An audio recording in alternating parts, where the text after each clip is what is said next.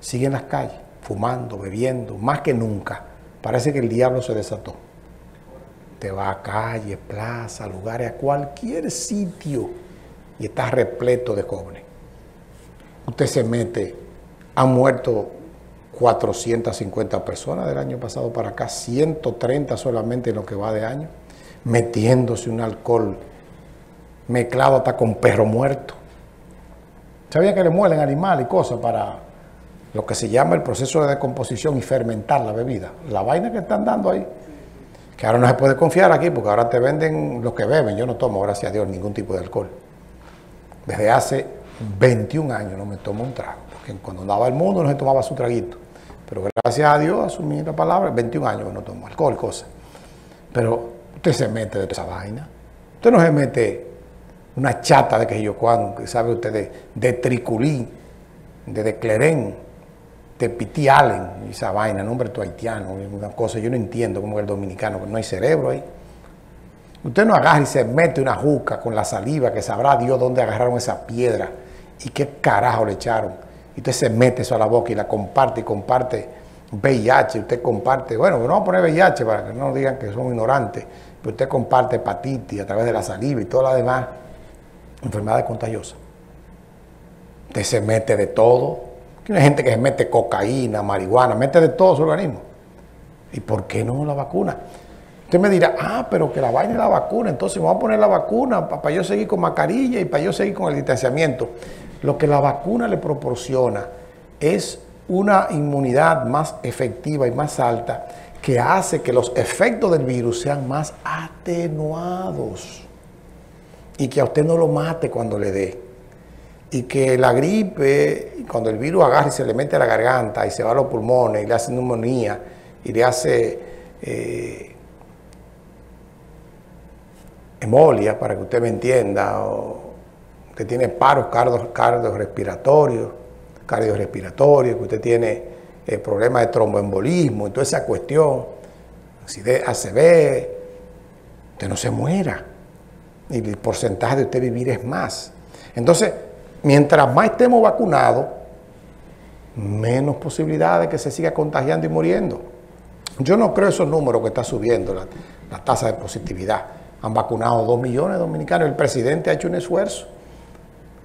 Cuando los americanos no le cumplieron con la AstraZeneca, el hombre, y hay que agradecerle, mire, a un delincuente, a Miguel Vargas Maldonado como canciller, y a Danilo, que se jugó y hubo una fricción ahí cuando el embajador eh, James Wally Brewster dijo que aquí había eh, pista de aterrizaje que en República Dominicana la droga era una cuestión y él se enojó, fragmentó un poco la relación y aperturó sus relaciones con China.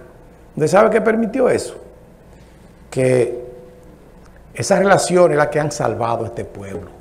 Dos millones de dominicanos y dos millones más de vacunas de la Sinovac, de la China, es la que va a tener 4 millones de dominicanos que ahora, ustedes saben que vacunaron primero a los grupos vulnerables con eh, enfermedades inmunocomprometidas, a las personas que, a los adultos mayores con problemas de diabetes, eh, con problemas de, renales, eh, a los médicos que están en el primer frente de batalla, a los militares, a los comunicadores y ahora a la población en general. Y eso hay que felicitar, esas dos millones de vacunas, porque Luis Abinader ha hecho, bueno, reconoció que se equivocó. Lo que hay que hacer es investigar el contrato, quién se lo hizo. AstraZeneca, 8 mil, 16 millones de pesos dado por adelantado en un contrato leonino que perjudica al pueblo, eso hay que revisarlo. Mm. Pero si la población sigue desenfrenada, el único remedio es la vacunita. Pero porque usted le ponga la vacuna no quiere decir que usted va a andar sin la mascarilla. Yo soy Superman. Y no me entran balas.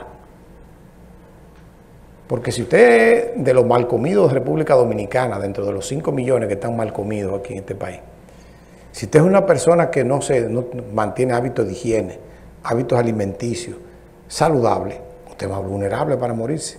Entonces, con la vacuna usted refuerza su sistema inmunológico. Usando la mascarilla evita que le entre y el distanciamiento que tenga contacto con el virus. Y eso entonces es algo, en ese sentido, que el presidente pudo resolverlo. Y el llamado que hace la vicepresidenta de la República hay que felicitarlo. Y hay que ver la valentía con la que se ha hecho.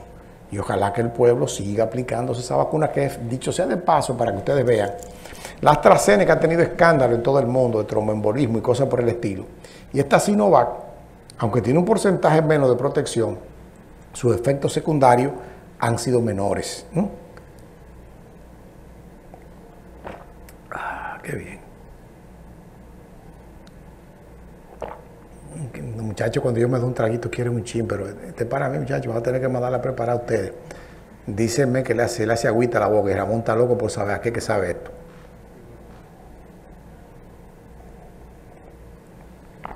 Ah. Mira, y aprovecha, pero tiene que hacer promoción al gozo. Entonces hay que felicitar al presidente. Ojalá que en ese esfuerzo a los ignorantes se le quiten esos, esos mitos y esos tabúes, porque toda esa cosa negativa usted se la mete. ¿Cuántas cosas, cuántos riesgos asume una mujer cuando se va a hacer una liposucción? ¿Mm? Se mete a un quirófano con un carnicero. Y no es mejor que usted le agarre el virus atenuado y que no esté medicándose por ahí, que el brebaje de que si yo qué, como pasó con la moringa, que la moringa cura tal sida y estaba la gente comiendo hierba ahí y muriéndose, intoxicándose como cosa loca. Porque las, las plantas y las cosas tienen un efecto, por eso hay que dejárselo a los profesionales de la salud. Ellos no sabemos nada de eso. No, que la moringa de Fidel, y estaba la gente, oye, comprando moringa y se hicieron ricos un grupo de, un reguero de gente que tenía hierba en su casa. Y esto sí, esto es moringa, le daba hierba, y la gente comiendo hierba, como los camellos, y la vaca y los caballos. ¿eh? pasaron a ser, eh, wow, eh, no voy a decir nada, se ofende la gente. Lo dejo ahí. Vamos entonces ahora, señor director, con la otra parte de, del listín digital, para entonces ir con el otro tema, que es el, que, el, el principal porque yo no soy médico, quise aclarar esto para que no vayan a publicar estos muchachos, ahorita me atacan diciendo que yo soy médico y que estoy defendiendo al gobierno. Cuando si hay una gente que ha sido perjudicado por los distintos gobiernos de los últimos 27 años de mi ejercicio profesional en la comunicación del derecho soy yo, porque no me he beneficiado ni con un bombillo. Por el contrario, cuando participé en la política salí más pobre jodido, porque yo soy de la gente que me doy, que ayuda a los demás. Y los que son pariguayos como yo salen con los bolsillos vacíos las piernas explotadas y sin un en los bancos.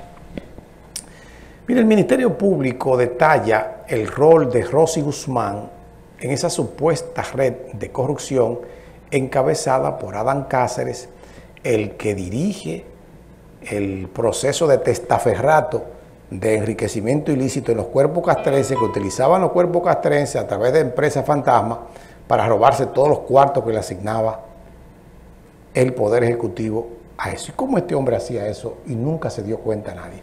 Como una pastorcita que vive de limosna, como viven los sacerdotes, va a aparecer con una casa de 100 millones de pesos, 5 o 6 vehículos y compañía sobre los 500 millones de pesos. ¿Qué pasó? ¿Qué pasó? Vamos ahí, decía Ramón, don Ramón, ¿verdad? El chavo del 8.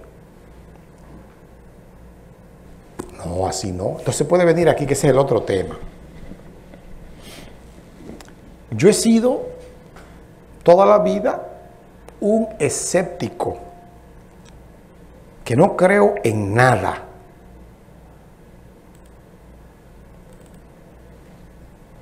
en el sistema judicial dominicano. Pero estoy haciendo una apuesta a lo que está pasando ahora. Porque el pueblo dominicano despertó. Por eso caminó en la Plaza de la Bandera para que no le metieran la reelección por un tubo. Por eso la Marcha Verde se tiró a las calles pidiendo el aumento del 4% del Producto Interno Bruto para la educación, cosa que se consiguió, para que los corruptos caigan presos, para que Danilo y su mafia de 20 años cayera y fuera del poder y no pudiera permanecer 20 años más. Cayeron todos esos. Entonces el pueblo despertó. Pero el mérito hay que dárselo al presidente de la República y la voluntad política que por primera vez hay en el país de que la corrupción sea perseguida con seriedad, sin estruendos, sin los shows que hicieron los peledeístas cuando iban a buscar en las casas a aquella gente para las cosas de Odebrecht y ese escándalo que fue más que un circo mediático, un show porque el caso se está cayendo, como dijo Miriam Germán Brito, la actual procuradora no va para ningún lado. Eso lo hicieron así para que los peledeístas no fueran, ni ninguno de los involucrados en ese caso, condenados. Ese expediente fue hecho adrede así, no tradujeron los documentos de prueba importantes del portugués al español, a los propietarios y dueños de ese sistema de mafia y de soborno como Marcelo de Brecht, y al otro, que no recuerdo ahora el nombre, uno que tiene como un apellido de cabra, eh, tampoco, ni siquiera quisieron admitirlo porque sabían que si ellos hablaban iban a caer todas esas grandes pirámides que comienzan por arriba, no por debajo.